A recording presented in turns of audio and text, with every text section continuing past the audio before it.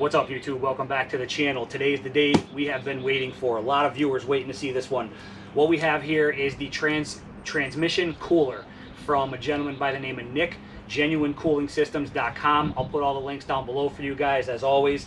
So um, this is a topic that's debated a lot about our trucks, why Toyota removed the transmission cooler. That's not what we're here to do. We're not going to debate it. I'm not going to talk about whether it's needed or not. That's up for you guys to decide. But I'm going to show you, um, Nick makes partial kits and then he makes complete kits. We have a complete kit here. Um, so I'm going to show you guys everything that comes with it and show you how to install it. I'd rather be safe than sorry, guys. It's, that's why we're putting it on. If you're new to the channel, this is a 2020 Platinum that we're building. Um, check out all the other videos we have up and running uh, on the truck. But you can probably see my boat in the background there behind the truck. We do a lot of towing with it, summertime especially, making trips to New York. I'd rather be safe than sorry and get a transmission cooler on this truck just to keep those temps down a little bit. So let me get this uh, uh, unboxed. I'll show you everything that comes with it and uh, we'll get into the install. All right, we got everything unboxed. Let me give you a quick look. So we have the Hayden heavy duty transmission oil cooler itself right here. We have the bracket to hold it in place on the truck, the hard lines, the soft hoses, some protection right there, the thermostat itself, which looks like this, and Toyota OEM part that Nick includes with the kit. Part numbers on the box right there. We have all of the hardware needed to get the job done, the inlet hose, the outlet hose, and he also includes some automatic transmission fluid. So if you get the total kit from Nick, as you can see, you get you basically get everything to get the job done, other than the tools, of course. And um, you, you, may need a pump to get this once we get the job done, and and we have to check the levels of the transmission fluid. You may need a pump to get that in there. But other than that, if you get the total kit from him, well worth it in my opinion. He deals with all Toyota OEM parts, other than the aftermarket um, cooler itself, of course course. But uh, yeah, OEM parts from Toyota, and he includes everything you need to get the job done. So let's get into it. Before we get started, guys, I got to introduce you to the newest helper in the Judge household. my buddy Blue. We just rescued a four-year-old Husky Akita mix, and he is my sidekick. He's attached to my hip 24-7. You guys will be seeing him on a lot of videos. He's always out here with me. Wherever I go, he goes. So, all right, to the install. Um, first thing you're want to do, remove your skid plate. I already have my RCI off. If you're interested or don't really know about that RCI, we do have a video on the channel installing and reviewing that. That thing is a beast. Highly recommend it. Once you get your skid plate off, you're to go ahead and want to remove your grill assembly. In order to do that, there's just two pop clips if you've never done it before. One here, one on the other side right there. Four 10 millimeter bolts right here. Again, 10 millimeter pop those out.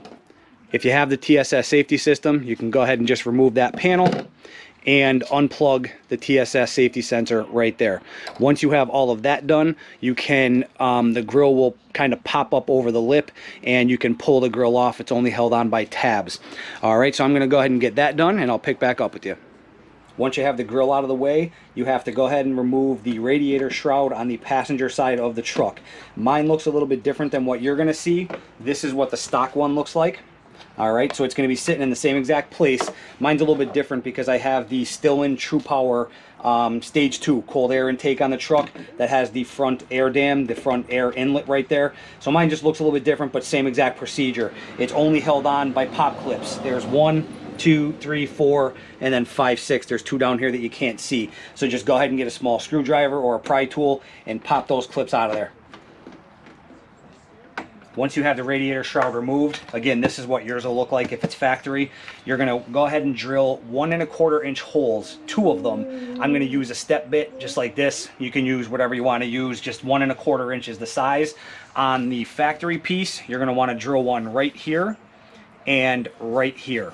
All right, so I'm gonna go ahead and do that on my Stillen shroud here um, in the same spots. Obviously mine looks a little bit different, but I'm gonna go ahead and drill them two holes using the step bit. And the reason you're gonna do that is um, Nick wants you to install these grommets to run the hoses through. So once we drill those two holes, I'll put these two grommets in. I'll show you what it looks like.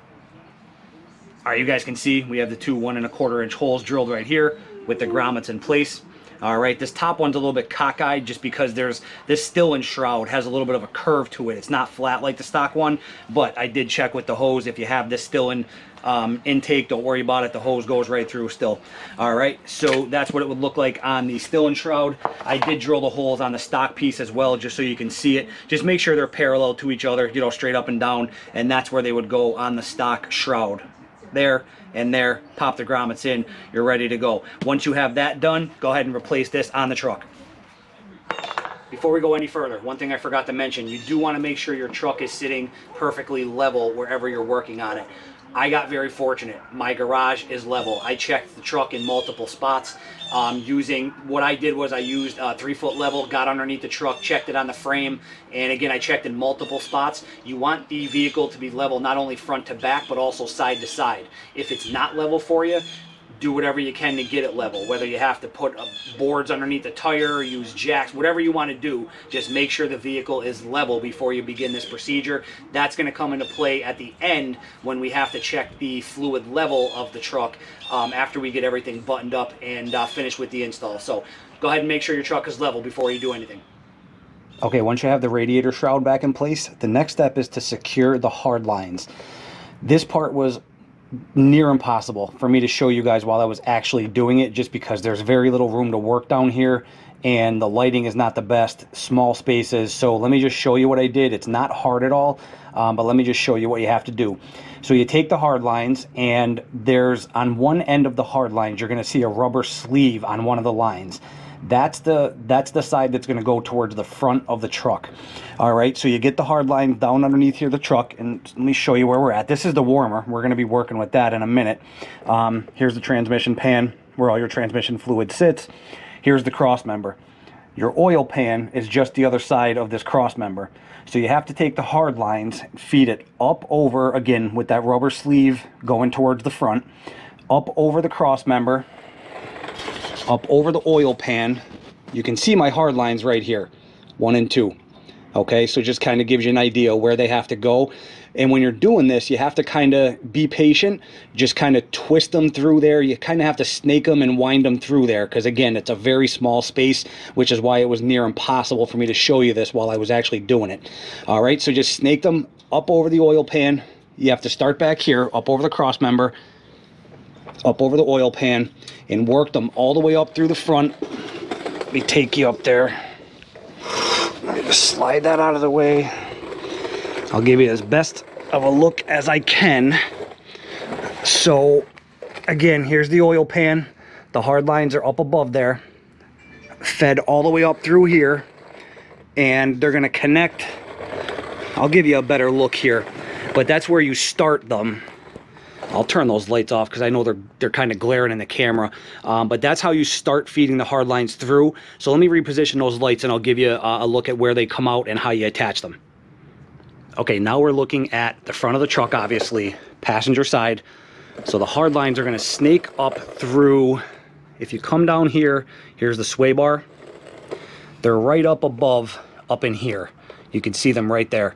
That's where the that's where they're gonna end up. Okay, now you're going to secure those with the two 12 millimeter hex flange bolts um, that come in your kit from Nick. I'll put a picture up on the screen. You get a 10 millimeter flange bolt, and there's only one of them in the kit, but then you get two 12, 12 millimeter flange bolts. Um, those are the two that you need to secure these hard lines. So let me give you a look at where you actually secure these two. Once I show you these two spots, guys, where you actually secure the hard lines, it'll actually give you a little bit better of an idea of how you have to kind of snake them through too. It's not hard. Just be patient. You kind of have to wiggle them and, and, twist them a little bit to get them through um, that small spot where they're going.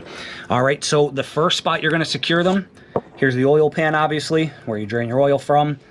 If you see right up here where I'm pointing, that's one of the 12 millimeter flange bolts okay? It's a threaded spot. That 12 millimeter flange is just going to screw right into it. So that's one spot where you're going to secure those hard lines. The other spot is up the front, so let's take a look at that. Okay, the second spot, if we come back in here, and again, you can see where the hard lines came out, right here. Right back here, where I'm pointing, Let me get you a look here. Right here, where I'm wiggling my finger, there's another threaded spot right there. And that's where the front secure, the, that 12 millimeter flange bolt is gonna secure the front of the hard lines. All right, again, just a threaded spot that you're gonna feed. You can see the bolt right there. That's where you're gonna feed. Um, and again, th that's why this is this was impossible for me to do and catch on camera while I was actually doing it. There was just no way. it's too small of a spot. Um, I would recommend, you know, if you have a smaller wrench to get up in here, especially this one. The, the the one back by the oil pan is a little bit easier to get to and tighten down.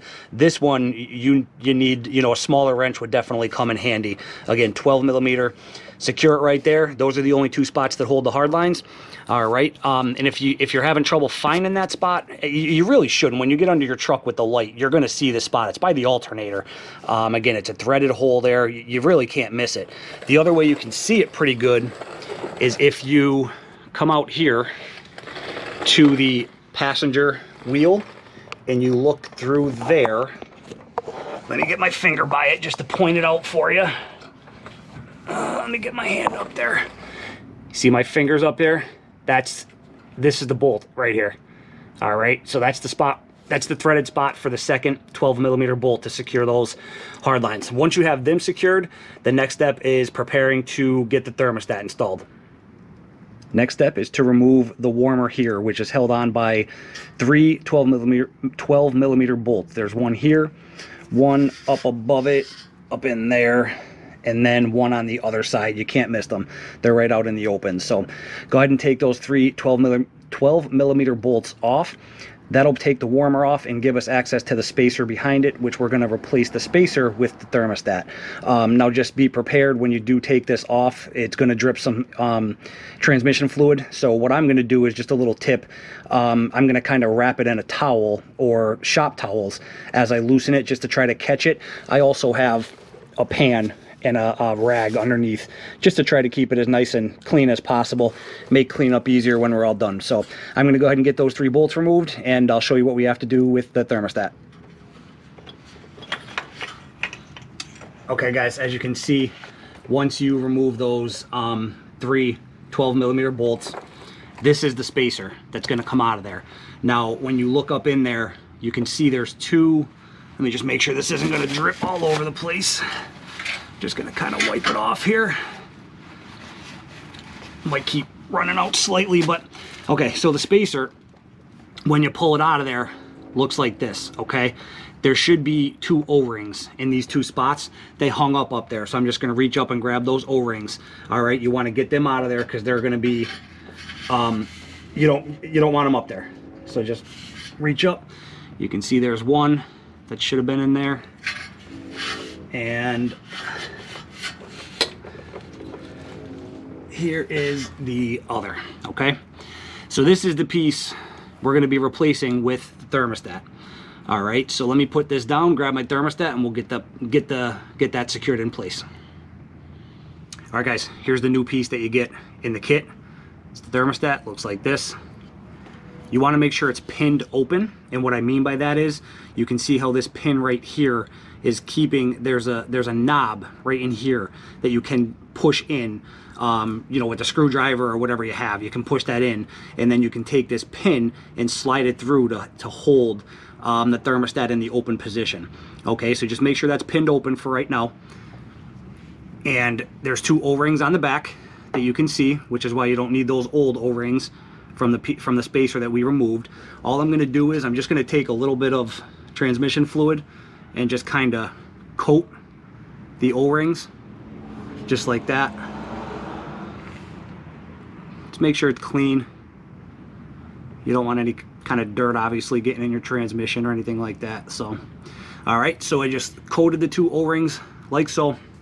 And now all we're gonna do is take this and put it in the exact in the exact spot where the spacer was that we removed. So you're just gonna put it up here. And the other thing too is just make sure you, I did this already, but just take your rag, a clean rag, and just kind of wipe off the surfaces up there just to make sure everything is nice and clean. Um, you know, where this, where the thermostat is going to be mounted up there. And I also wiped off the, um, the heater here, the inside of it, all right? So just get in position. And again, not a whole lot of room to work, but You're just gonna put this up in the spacer's place.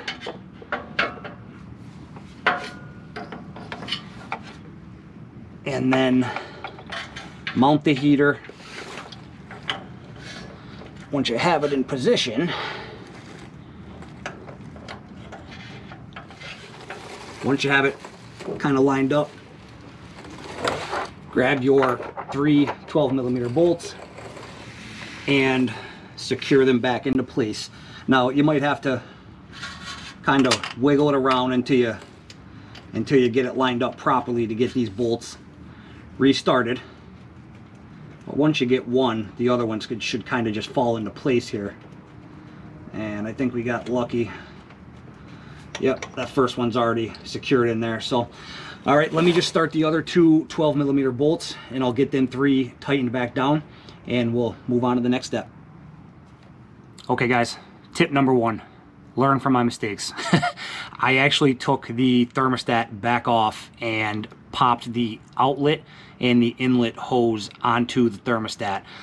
I had it. I had the thermostat secured up there, and man, I just could not get my hands up there to secure these hoses properly on the nipples of the thermostat. All right. So when you're putting these inlet, I'm sorry, the outlet and the inlet hoses on, that's exactly how you want them to go. The packaging from Toyota is labeled inlet and outlet. They are not interchangeable. They are shaped a little bit differently. So the outlet goes on the top nipple when you're looking at the thermostat. The inlet hose goes on the bottom okay? And then you also you can see here there's like black um, electrical tape on this on one side not on the other. You want the black electrical tape to go towards the thermostat okay? So again black electrical tape black electrical tape. Then there's none on the other side two sides of the hoses all right so go ahead and connect these make your life a little bit easier. Connect these to um, the thermostat before you pop this up there. And you also you're just going to use these clamps that come in the kit. Um, very simple. You just use needle nose pliers or any kind of pliers to um, squeeze the um, to squeeze it together and it, um, you slide it over the hose um, so just make sure you put those clamps on before you put them onto the thermostat and then just secure them in place all right so make yourself make your life a little bit easier pop these hoses on there with a couple clamps before you put the thermostat in place all right, guys, let me give you a quick look at what it should look like after you have the thermostat mounted and the inlet and outlet hoses, hoses ran. So here's the warmer. The thermostat is behind it, mounted like I showed you definitely recommend installing the inlet and outlet hoses before you put that thermostat on. It made life way easier. All right. And then the three, just so you guys know, the three 12 millimeter bolts that hold the warmer and the thermostat in place, they should be tightened to 15 foot pounds or 180 inch pounds. Same thing. All right. Just so you know what they should be tightened to. Um, let's get you a look at the hoses so here you can see up here where the with the white sleeves on them there's one here and then there's one up above it. Um, that's the inlet and outlet hose. Again the inlet hose is here on the bottom. That's attached to the bottom nipple on the thermostat. The outlet hose up there up above it that goes to the top nipple on the thermostat. And you can see how they kind of route down from the thermostat. They go through this bracket right here um, between the bracket and the transmission and then you can see I'll give you let's go on the other side of the cross member and you can get a good look at how they're mounted to or, or where they're connected to the hard lines right here.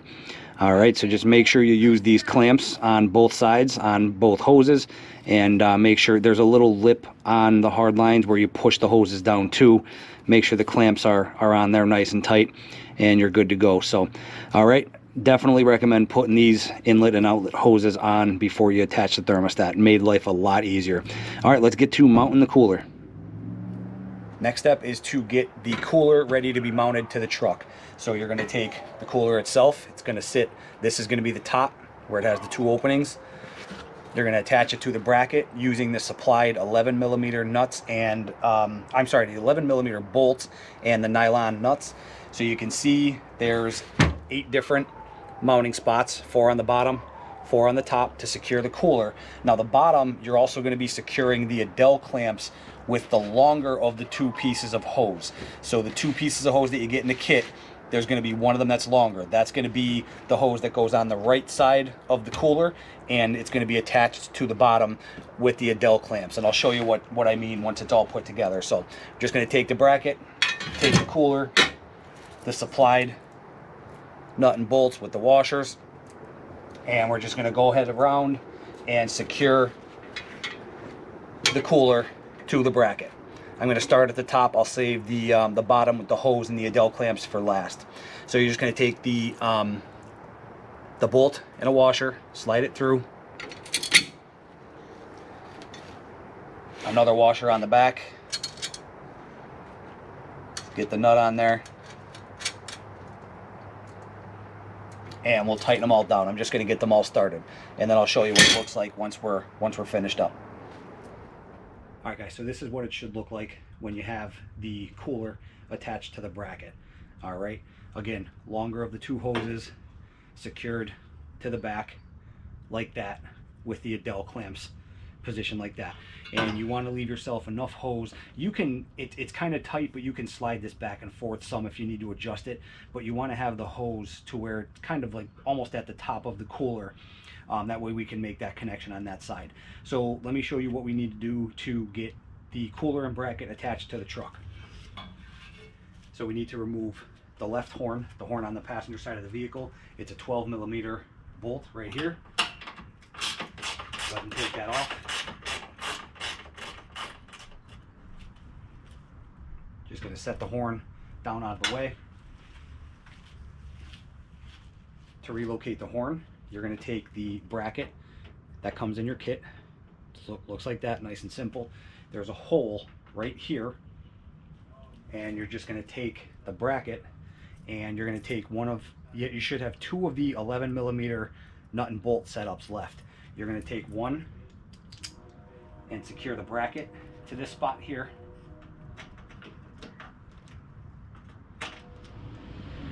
so once you have the bracket secured on there you're going to take this 10 millimeter bolt right here. You're going to go ahead and remove that. It's right to the left of the latch here. Once you have that 10 millimeter removed you're going to take the new the last flange bolt that you have in the kit. That's your you're going to replace that 10 millimeter bolt with this one and you're going to ground the horn. So you're just going to secure one end right here Then you're going to take your last 11 millimeter bolt that comes in your kit with the washer, put the bolt through the bottom hole of the relocation bracket, and then put the horn on the back of the bracket. Then take your grounding cable and hook that up behind there.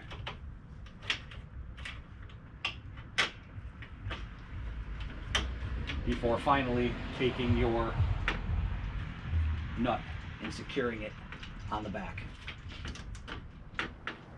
Okay, so when you're all done, this is how it should look.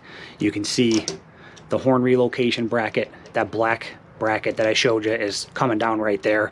It's secured, the horn is secured to the bottom hole the top hole we secured the bracket there.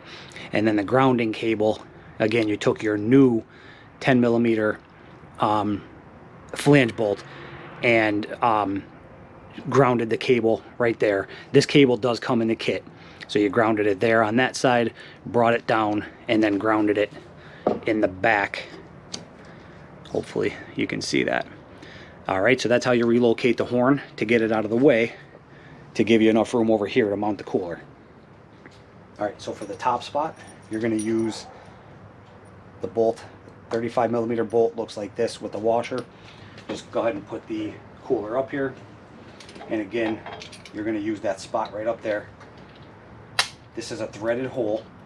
So put it through the bracket and then you're gonna wanna take the spacer that's provided in the kit. Put that on the back like that get the cooler up there and start screwing it in. Once you get this screwed in, you don't have to tighten it all the way just yet because we're going to want to put that other spot down in, down in there as well. But once we get this screwed in enough, you're going to take the nut and put it on the back just to secure it, just to make sure it's nice and nice and secure. So now we can take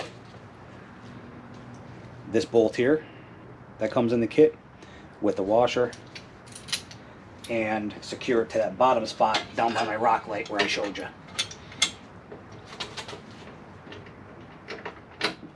Okay, got it secured to the truck. You can see right down in there, there's that spacer that I mentioned. All right, and then it's secured down here with the shorter of the two 13 millimeter bolts that come in the kit. So at this point, now we're ready to start routing the hoses through the um, the radiator shroud, those two holes that we drilled in the shroud earlier in the video. The four foot hose that's on the bottom and those Adel clips, that's gonna go up and through the top hole in the shroud. It just helps with kinking. And then the three foot hose, the shorter of the hose that you're not even seeing here yet, I actually have it over here on the ground, um, that's gonna go through the bottom hole of the shroud. All right, so I'm gonna go ahead and get that done and I'll show you what it looks like. So you're just gonna take these clamps, looks like this, take a pair of pliers, needle nose is fine, but this is just what I have handy. Just squeeze down like that, put it over the end, and let go. All right, and that secures it on there. When you're going to attach the hose to the fittings, you just squeeze those together again. It'll loosen it up and allow you to slide the, um, the hose over the fittings.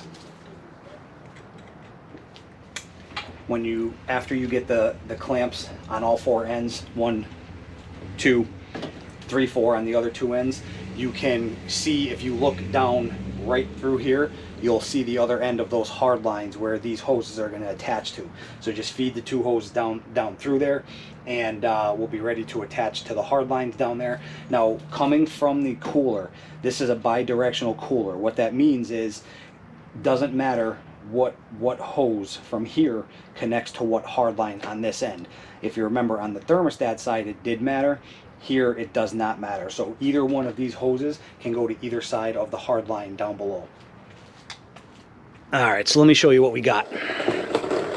Coming in here, right up in there is where we have the connections between the hoses coming down and the hard lines.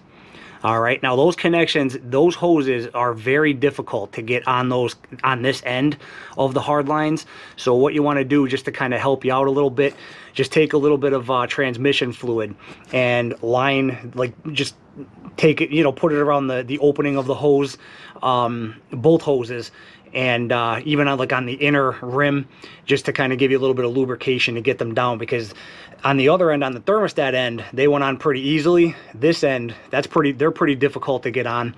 But uh, just wanted to give you a look at the connections right there. All right and then right here you can see this is that rubber sleeve that I was mentioning earlier in the video when you're feeding the hard lines through up you know through over the frame and everything that's that rubber sleeve. You want to make sure that end comes towards the front of the truck all right, so we are all connected on the bottom end. Let's go up back up to the cooler and uh, we'll make our connections up there. To make our connections up top, you're just gonna take the two pieces that look like this in the kit and you're going to, you can see there's a green O-ring on both of them. Okay, so you're just going to take them and put them in these two locations, screw them down into these locations until you want to make sure you cannot see the O-ring. So just take an adjustable wrench or whatever you have, tighten them down. You want to make sure they're good and secure so you cannot see the O-rings. Before you do that, this Hayden cooler comes with, there's just like a little protection, a couple protective rubber pieces in here. So just go ahead and grab them and pull them out. They just look like that. All right, it's just to make sure that nothing gets in there during shipping or anything. There's one on each side. So just take those out and then you can take your two pieces here, your two adapters, and screw them down into these locations. Again, you could just kind of use your hands to get them all the way down to the O-rings, and then you'll have to take an adjustable or, I'm not sure what size these are yet. I'll put it up on the screen. I'll check for you and put it up on the screen. But you just want to get them screwed down tight enough to where you can't see those O-rings. So once you have these two adapters snugged down so you can't see those O-rings, you're going to take the two pieces that look like this in your kit This end is obviously going to go into the hose. And you're going to do one on each side, and then this end is going to screw onto the top of here like that. All right, and then again, just to make your life a little easier, I am going to take a little bit of transmission fluid and put, um, you know, around the opening and, and inside the opening of the two hoses, just to make it a little bit easier to slide over um, the nipples here. All right, so I'm going to go ahead and get that done. All right, guys, here's how it should look when you're all done. All right, as you can see, you cannot see those O-rings that I mentioned before and then you just connect these U pieces, these U adapters. I'm not exactly sure what they're called, um, but obviously you can't you can't miss them. So you just screw them down onto those uh, this adapter here, and then connect the hose to the other side. And then again, just make sure you have these clamps nice and tight up on the edge of the hose. All right, to hold them in place. So that's how both sides should look. That's how the whole unit should look. Everything is tightened up down below. So now we have to put some transmission fluid into the transmission because we need to check the level now that we have the cooler in place. So let me show you how we get that done. Okay, to add transmission fluid to the transmission, here's the warmer that we were working with before and the thermostat inside of it. On the other side of the transmission, right up, uh, let me see if I can get you a look, right here, it's the only it's a 24 millimeter bolt. That is the refill plug okay? Um, so it's again 24 millimeter. It's the only one on this side of the transmission. You can't miss it. Go ahead and take that off and that's where we're going to fill the transmission that's where we're going to pump the transmission fluid into all right guys so we're to pump one and a half quarts um, and again, he does send these two quarts to you included with the kit. We're gonna pump one and a half quarts into that refill plug that I just showed you. In order to do that, I'm gonna use one of these fluid pumps. It's for quarts and gallons. I picked this up, it was like seven bucks at my local AutoZone. Very, uh, it makes it very easy to do, seven bucks, well worth it. All right, so you're just gonna take this out of the package, screw it on top of the quart, and it'll allow you, it'll allow you to pump the fluid into the uh, transmission pan. Once you have the one and a half quarts of transmission fluid pumped in, go ahead and take your refill plug and screw it back in. This should be tightened to 29 foot-pounds. Right, guys, the install is complete. The last step we have to do is verify our transmission fluid level. In order to do that, you need some way to monitor your transmission fluid pan temperature. All right, so what we're going to be using here today is a module that I got off Amazon. It's made by Veepeak. It's an OBT, OBD2 module. You basically just plug it into your OBD connection on the truck, and then you have to download an app. The, the app that I'm going to use, it's called OBD Fusion. It's one of the most popular apps out there. There are multiple different ones, but OBD Fusion is one of the most popular ones, very user friendly, and I'll give you a quick um, overview on how to connect to, to it and, and monitor the temps. So basically you just plug this into the, your, your OBD um, connection on the truck, download that OBD Fusion app, which this is 30 to $35 for the module. The app is $10, $9.99 off iTunes. Um, again, well worth it. You need it to, to, to, monitor these temperatures. So let me show you how to connect it real quick and um, and then we'll we'll get into the process of checking the uh, the fluid level.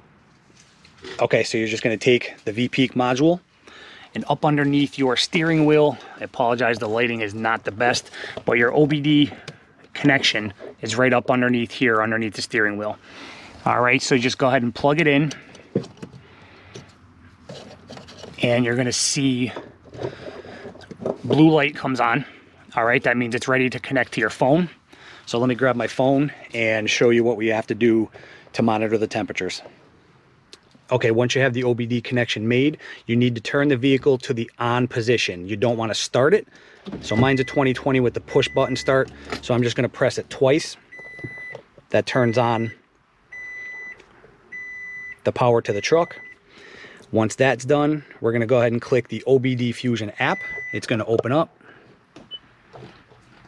We're gonna click connect down the bottom. Mine's gonna look a little bit different because I've already connected it to the truck. The very first time you do this, you're gonna have to enter um, your vehicle information, year, make, model. It's very self-explanatory. All right, so we're just gonna connect. It's gonna go through a little bit of a connecting process here, running through the systems. This takes a few seconds, not too bad. And uh, okay, so now we are connected. So what you need to do, you need to go into, um, here, let me go back. You click on settings and you need to go into user defined PIDs. You're gonna get a warning, just press okay. Now, I already have ATF pan and torque converter here. What you need to do, you won't see those there just yet. Yours is gonna be blank. So you just go to menu, new, and then you're gonna get this screen. Let me swap over. So when you're looking at all of these um, columns here, Nick gives you this information here, and I'll take a screenshot. I'll put it up on the screen for you. You have to enter this information. You're, so you're going to make two different user um, custom PIDs that I just showed you, user-defined PIDs. The ATF pan is this column right here. The torque converter is right here. All right, so that's the information you need to enter. So let's go back here real quick. You don't want to change any other wording over here other than what Nick tells you to change. So under name, you would put ATF pan. Let me see if I can go into ATF pan and show you. I can. Okay, perfect. Let me go back here real quick. Delete that one. So my user defined PIDs, my ATF pan, this is what your column or your the right hand side of the screen should look like. All right. So all you change is what Nick tells you to change. These other columns like category, manufacturer, you don't change those at all. Here, you you know, you would just go type in ATF pan. All right, hopefully this makes sense, but this is what your your screen should look like for ATF pan. All right. And again, Nick gives you all that information. I'll put the screenshot on your screen for you. And then for the torque converter, and again, you won't have these when you first go into this app. You have to create them by going to menu, new, and then entering all of this information. Okay. So the torque converter, let me just get rid of that that we just created. So the torque converter PID would look like this. Okay. So you just want to go down the row, all the information that Nick gives you, enter all of that information, and then down at the bottom, you click test. So let me just show you what happens when we click test. So right now, our, our torque converter temperature is 55.2. If we go back to our pan, come down to the bottom and click test, 55.2. Now in order to monitor these, we're gonna go back to the main screen and click on dashboards. There you can see our ATF pan and our torque converter temperatures right there. Now that's what you need to see right now to verify the fluid um, the fluid level for the transmission fluid, okay? So we're gonna, what we have to do is you have to make sure your pan temperature is below 80 degrees to get this process started. So what I'm gonna do, I'm gonna get under the truck, I'm gonna have my wife start the truck and shift through the gears on the um, uh, in the in the S mode, the sport mode. So she's gonna I'm gonna have her come down, shift through the gears, and basically just kind of work the transmission fluid through the system. Once that pan temperature gets between 99 and 111 degrees, that's when we have to um, unscrew the overflow plug, which I'm going to show you, and and, and I'll, I'll, I'll show you the process once we get under the truck, but that's, we need this pan temperature between 99 and 111 in order to check the level, um, the fluid level properly. All right, so let's get under the truck and I'll show you what we have to do. Okay guys, I have my wife up up um, behind the wheel. She's going to be starting the truck pretty soon. As soon as the temperature reaches 99 degrees, again between 99 and 111, this is the overfill plug. It's a 5 millimeter Allen wrench. So what we're going to do is once the temperature gets between 99 and 111, we're going to loosen that and the, you're going to see the transmission fluid start to flow out. Once the fluid comes to like a trickle, that's when we're going to tighten this back down. All right, so I'll show this on video. I'll give you guys a look at what it looks like while you're doing it. Now, this is one thing you're going to want to pan for because, again, the fluid is going to be coming out of here. All right, so let me put the camera down and we'll get started. All right, start it and tell me when it's at 99.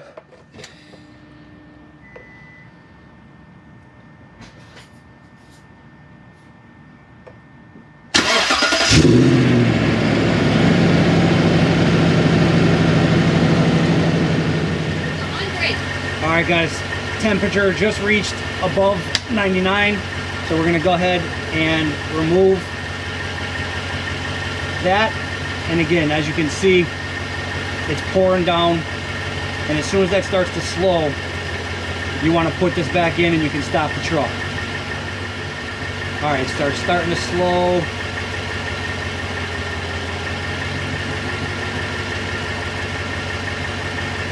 All right, right now, and you you'll you'll be able to tell when it's slowing down. You don't want it to start dripping. You want it to be more of a trickle. All right, so just like that, go ahead, tighten that back in there, and you're good to go.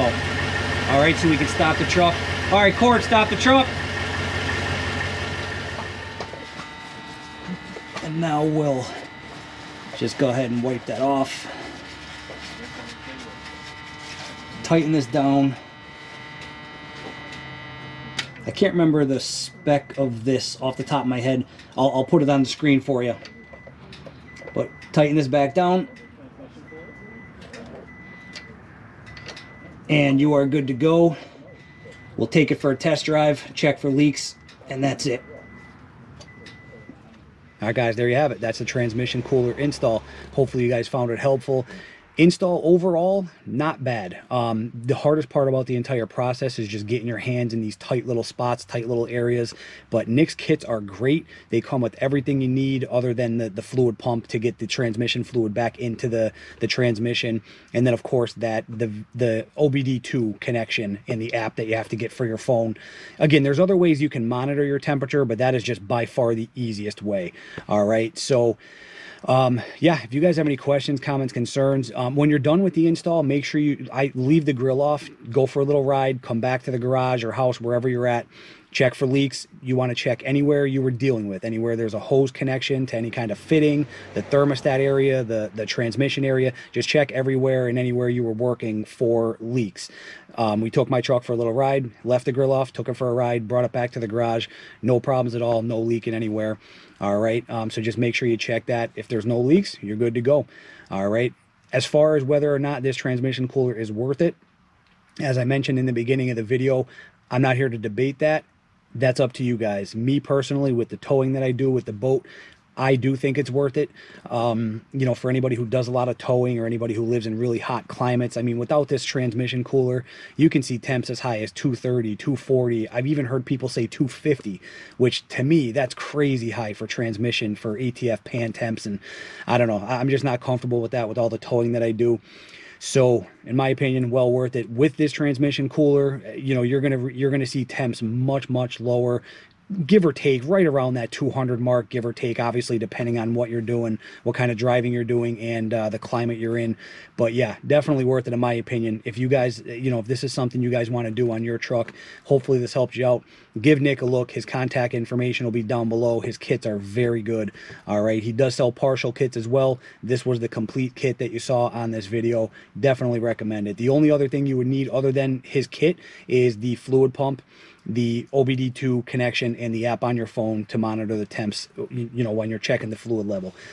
So make sure you like and subscribe, guys. I know there was a lot of people waiting to see this video, so share it with your friends. If there's anybody who's thinking about this, you know, make sure they see the video. If you guys have any questions, comments, concerns, leave them down below. We'll get them addressed as always, and uh, we appreciate you watching. So, all right, take care, guys. We'll see you on the next video.